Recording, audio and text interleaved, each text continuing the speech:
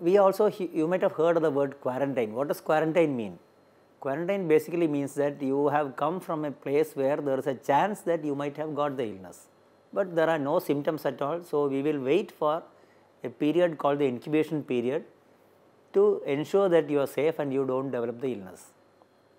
So, for coronavirus, the basic incubation period is 14 days and double that is 28 days. So, depending on the risk, uh, you will be asked by the doctors either at the airport or the doctors who respond through Disha or the doctors in a nodal hospital, uh, the advice might be to stay in quarantine. So, this quarantine is done at home for most people and if one develops symptoms then immediately what you have to do is to call Disha again to know where your notified hospital is.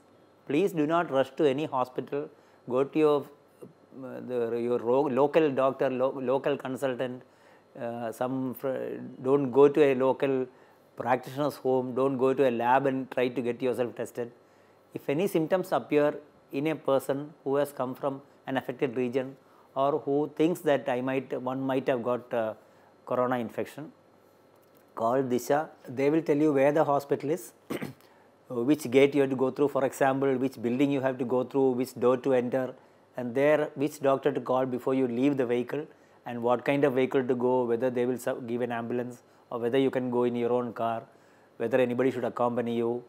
Uh, things like leaving the car AC switched off, opening, leaving all the windows open. So, they will give you a lot of advice about how to go to